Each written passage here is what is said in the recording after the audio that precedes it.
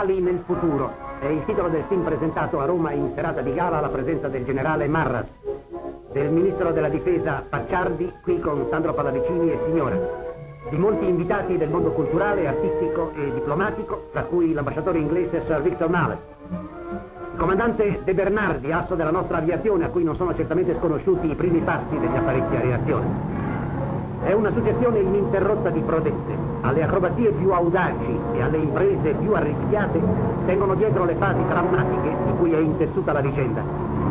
Essa non attinge alla fantasia di uno scrittore, ma ad una autentica pagina scritta dall'aviazione inglese e presa dal pilota John Barry, che si sacrificò in un tentativo rimasto memorabile.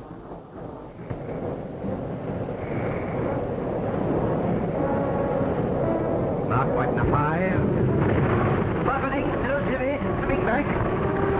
film vuole essere ad un tempo testimonianza di un sublime eroismo e glorificazione di una impresa sfortunata.